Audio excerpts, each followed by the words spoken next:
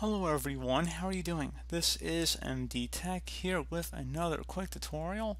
In today's tutorial, I'm going to show you guys how to resolve if you're unable to connect to the App Store on your Mac device.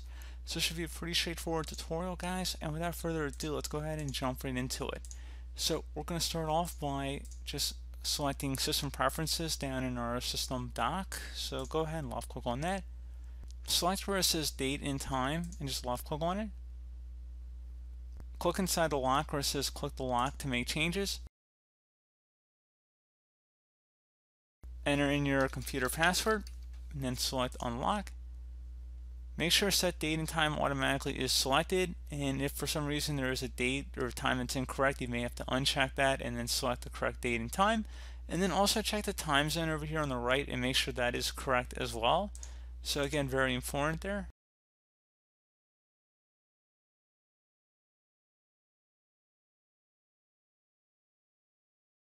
Another thing you can try here, if you close out of here and actually open up the App Store,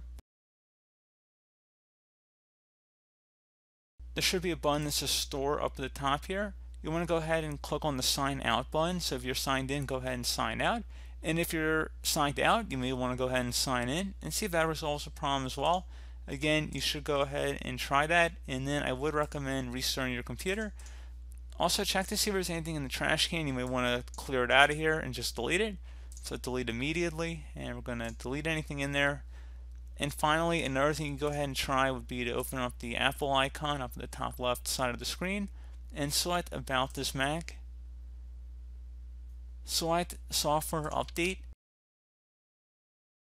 And then check for updates, see if there's anything to be installed. Would recommend installing those updates and then restart your computer. And then that should hopefully have been able to resolve your problem. So as always, thank you guys for watching this brief tutorial. Do hope that I was able to help you out, and I do look forward to catching you all in the next tutorial. Goodbye.